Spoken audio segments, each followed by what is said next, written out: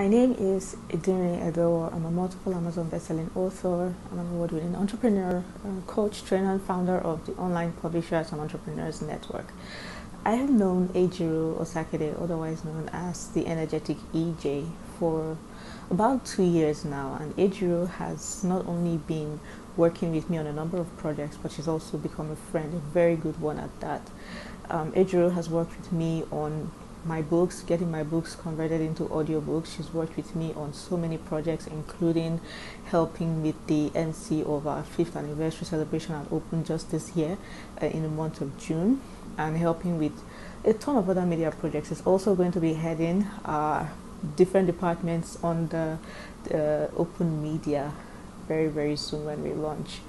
And I just want to speak to the gifts and the amazing professionalism that is the energetic EJ. She shows up in so many capacities, but the one thing that remains consistent is her dedication and her consistency in making an impact, in giving value, in ensuring that people have the best time. Her energy is contagious.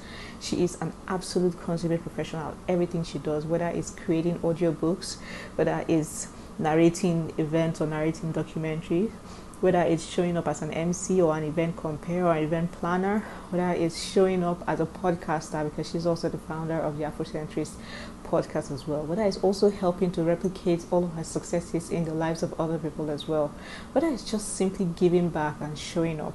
You know, she is absolutely phenomenal in everything that she does, and as she transcends into new heights and new opportunities and new positions, I wish her nothing but the best.